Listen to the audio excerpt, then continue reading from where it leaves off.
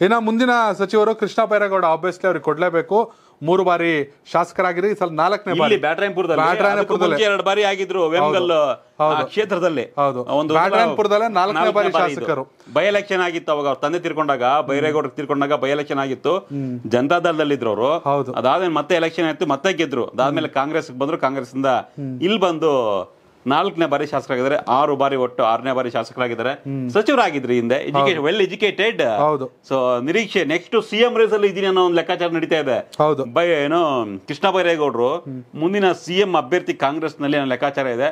D K Shivakumar ಅಷ್ಟು ಸುಲಭವಾಗಿ ಬಿಟ್ಕೊಡಲ್ಲ ಒಕ್ಕಲಿಗ ನಾಯಕರು ಒಕ್ಕಲಿಗ ನಾಯಕರು ಯಾರಪ್ಪ ನೆಕ್ಸ್ಟ್ ಅಂದ್ರೆ D K Shivakumar D K Shivakumar ಬಳಿಕ ಕೃಷ್ಣ ಬೈರೇಗೌಡ ಆಗಬಹುದು. ಕೃಷ್ಣ ಬೈಗೌಡರನ್ನ ಸಿಎಂ ಅಭ್ಯರ್ಥಿಯಾಗಿ ನೋಡಬೇಕು ಕೃಷ್ಣ ಬೈರೇಗೌಡರ ಆಗಲ್ಲ. ಯಾಕೆ ಹೇಳಿ. ಈಗ ಕಾಂಗ್ರೆಸ್ ಇನ್ನೊಂದು ಮೂರ್ ಟರ್ಮಿಗೆ ಬಂದ್ರು ಡಿ ಕೆ ಶಿ ಇರ್ತಾರೆ. ಆಮೇಲೆ ಪ್ರದೀಪ್ ಈಶ್ವರ್ ಬರ್ತಾರಲ್ಲ.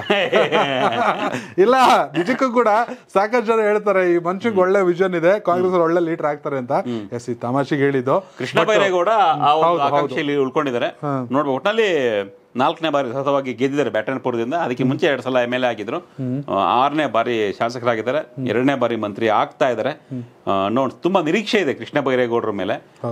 ಅವರು ಶಾಸಕರಾಗಿದ್ಕೊಂಡು ಜೊತೆಗೆ ಸಚಿವರಾಗಿದ್ಕೊಂಡು ಏನೆಲ್ಲ ಮಾಡಬಹುದು ಆ ನಿರೀಕ್ಷೆಯನ್ನ ಅಂದ್ರೆ ಏನೋ ಒಂದು ಎಕ್ಸ್ಪೆಕ್ಟೇಷನ್ಸ್ ಇದ್ದು ಅದು ರೀಚ್ ಆಗಿಲ್ಲ. ಇನ್ನೂ ಚೆನ್ನಾಗಿ ಮಾಡಬೇಕು ಕೃಷ್ಣ ಬೈರೇಗೌಡ ವಿದೇಶದಲ್ಲಿ ಓದ್ಕೊಂಡು ಬಂದಂತವ್ರು ಹೌದು. ತುಂಬಾ ನಾಲೆಡ್ಜ್ ಇದೆ. ಸೊ ಅದನ್ನ ಯೂಸ್ ಮಾಡ್ಕೊಬೇಕು ಅನ್ನೋ ಒಂದು ಮತದಾರ ಕೇಳ್ತಾರೆ ನೋಡೋಣ ಏನೆಲ್ಲ ಮಾಡ್ತಾರೆ ಅಂತ.